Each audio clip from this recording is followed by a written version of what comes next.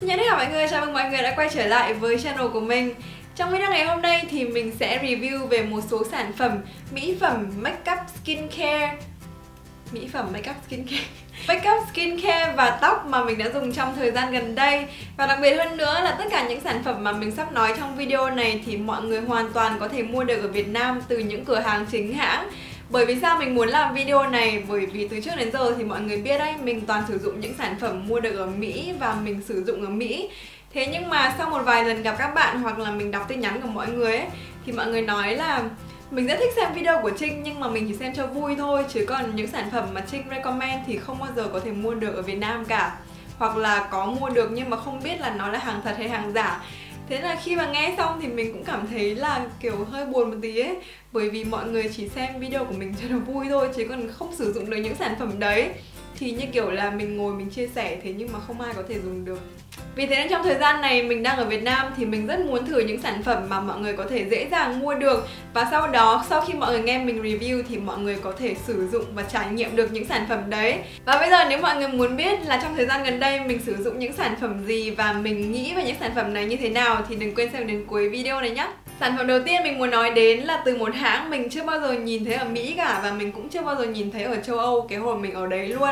Lần đầu tiên mình nhìn thấy hãng này là ở Thái Lan, mình có đi vào siêu thị và nhìn thấy hãng này là hãng GA và ấn tượng đầu tiên của mình là gì? Đấy là cái chị mà gương mặt đại diện của hãng này này thì là một chị mà mình đã follow ở trên Instagram một thời gian rất là lâu rồi và mình biết là ở Thái Lan này chị rất là nổi tiếng.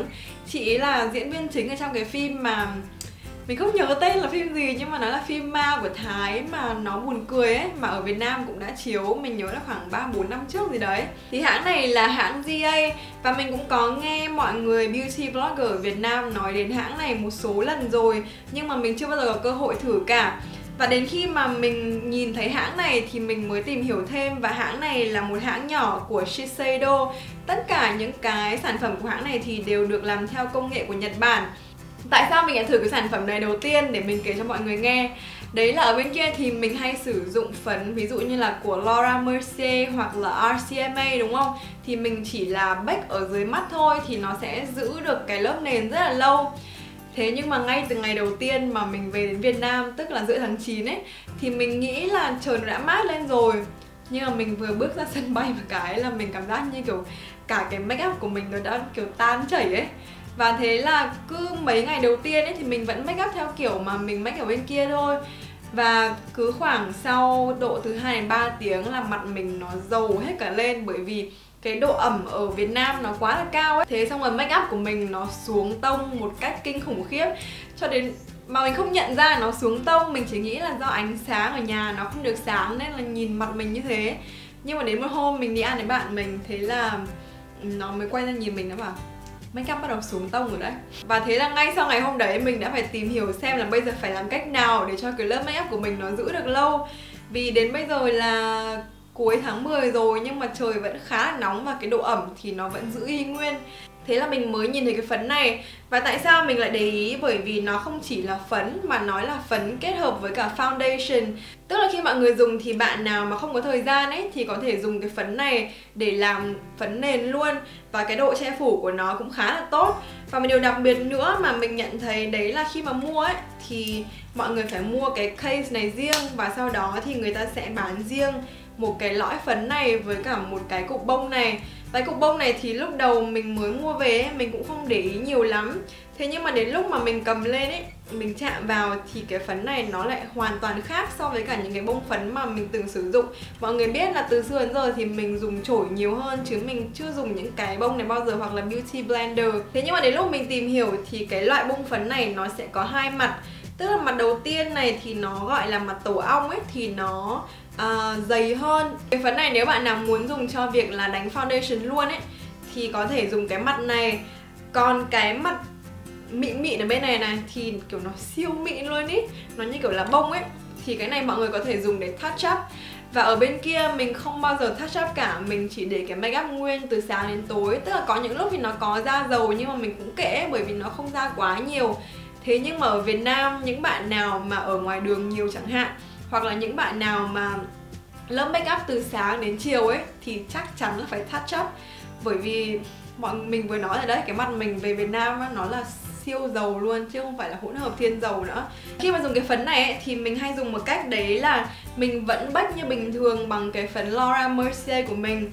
Thế nhưng mà khi mà mình bách xong nhá thì mình không chỉ lấy cái chổi này để mình phủi luôn mà mình sẽ dùng cái chổi này mình cho vào trong cái phấn GA Airy Flawless này và sau đó mình sẽ phủi cái lớp phấn Laura Mercier bằng cái phấn này. Nếu bạn nào mà không muốn đánh cả mặt thì mọi người có thể làm như mình. Đấy là chỉ đánh ở phần trung tâm này thôi. Để những cái phần mà mình giàu nhất ấy, thì nó sẽ giữ được và thực ra ở Việt Nam có một lý do mình nghĩ là cái lớp ép của mình nó không giữ được lâu nữa bởi vì mình không ngồi ô tô nhiều bằng bên kia ấy.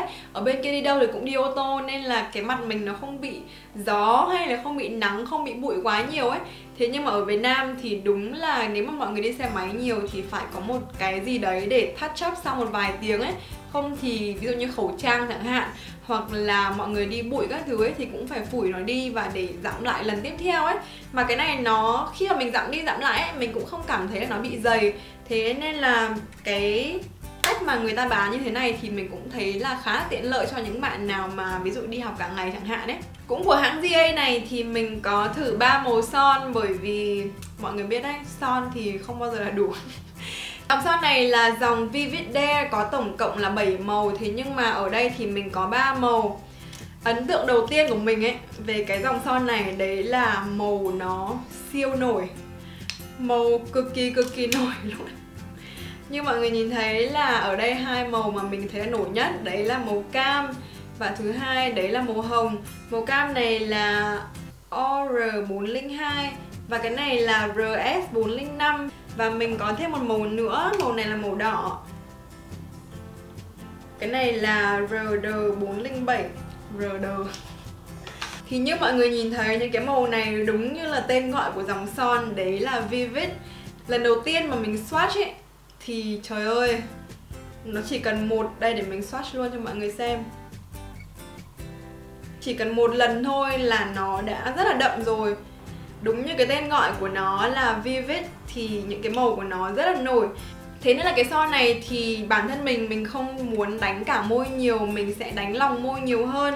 À, Ngày hôm nay thì mình đang dùng màu RS 405 là mình đánh một ít để lòng môi sau đó mình lấy tay để tán ra ấy.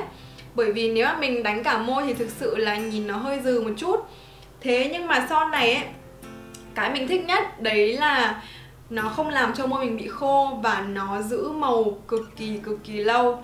Lúc nãy thì mình đã đánh cái màu đấy lên rồi và sau đó mình đi ăn trưa. Đến lúc quay về đây đây là cái màu sau khi mà mình ăn trưa ấy, nó vẫn còn nguyên. Và có một cách nữa đấy là lần đầu tiên mình dùng cái màu cam này này. Thì khi mình đánh lên ấy thì mình nhận thấy là mình đánh cả môi nó không hợp lắm. Thế nên là mình lấy cái uh, bông máy tay ấy mình mới lau đi một chút và cái màu nó vẫn còn ở trên môi, tức là nhìn nó nhạt đi nhưng mà nó vẫn còn ở trên môi rất là xinh. Nên là son này có mùi gì? Không có mùi gì lắm.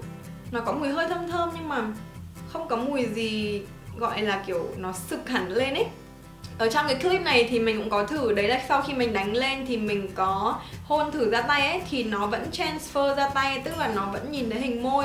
Thế nhưng mà cái màu ở trên môi nó vẫn còn và đặc biệt nhất nếu mọi người biết mình thì mình không bao giờ đánh son lại lần thứ hai, tức là mình chỉ đánh một lần thôi. Còn sau khi mà ăn xong rồi nó như nào là kệ nó luôn ấy, mình không bao giờ đi vào nhà vệ sinh để đánh lại ấy.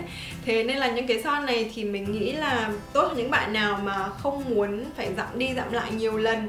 Vừa rồi thì là make up, bây giờ chúng mình sẽ nói về skin care và skin care đối với mình trong thời gian này nó rất rất rất rất quan trọng.